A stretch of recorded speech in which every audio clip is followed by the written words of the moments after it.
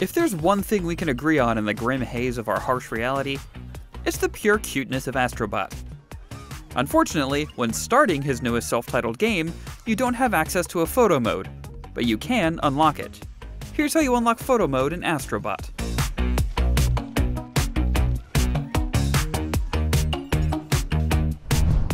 You unlock photo mode at the same time you unlock Safari Park at the crash site, by picking up the camera as soon as you enter the building.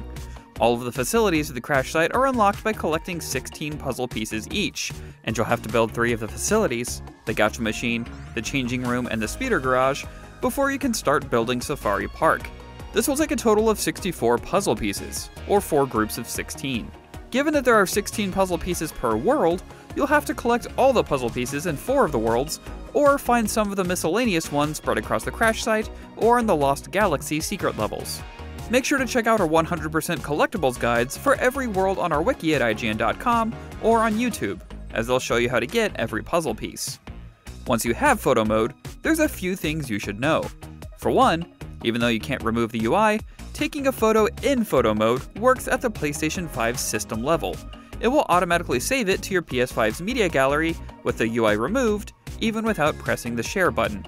You can change Astro Bot's expression, pedestal the camera up and down, rotate, and even zoom in and out.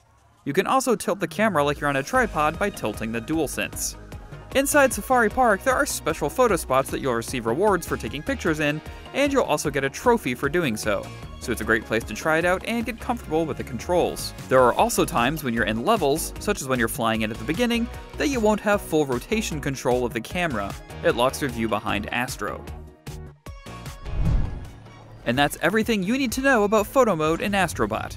For more, including the aforementioned 100% collectibles guides, make sure to check out our guide on IGN.com or any of our various YouTube videos. And for everything else gaming, you're already in the right place IGN.